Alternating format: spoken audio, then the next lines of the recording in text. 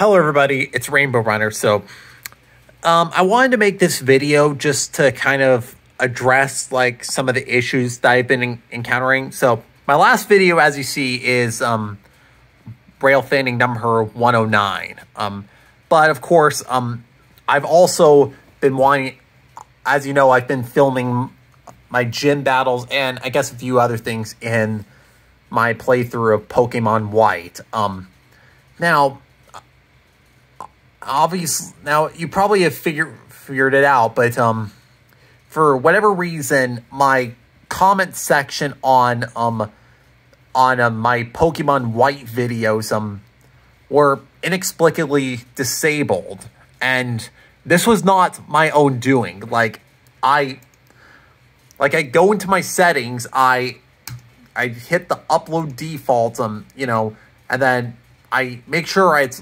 allow all comments and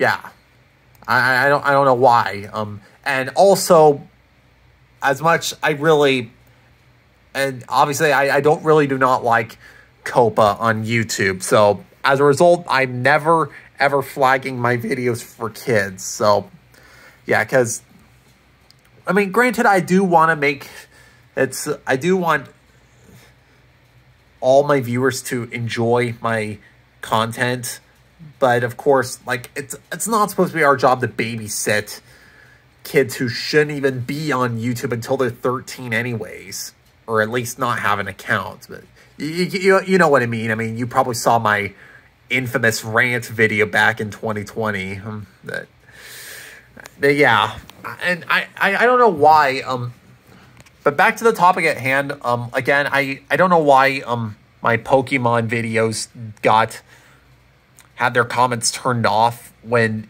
it wasn't any my doing, and on each of them I had to go into the studio to manually enable the comments. Not once, but twice. Like after the first time after enabling it, even if I do post a comment at that time, they get turned off. And again, it's not my own, my own doing.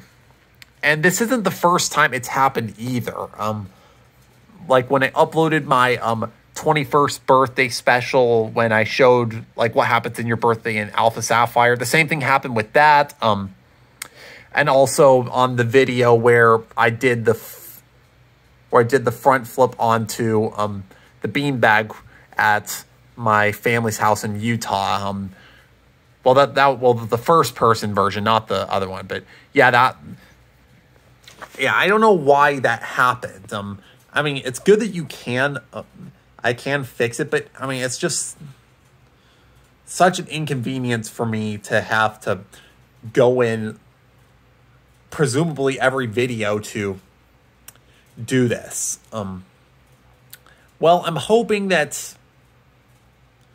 maybe that I, um I don't have to deal with this anymore um because my I just uploaded my other rail fanning video um I guess I'll I'll pull it up um I'm gonna pause okay. Yeah comments you you can post a comment on this um so yeah. Um I I don't know if it was just